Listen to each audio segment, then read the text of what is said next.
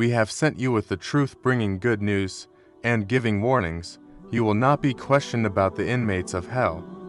The Jews and the Christians will not approve of you unless you follow their creed. Say, God's guidance is the guidance.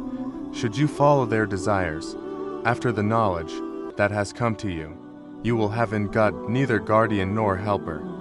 Those to whom we have given the Scripture follow it, as it ought to be followed, these believe in it. But as for those who reject it, these are the losers.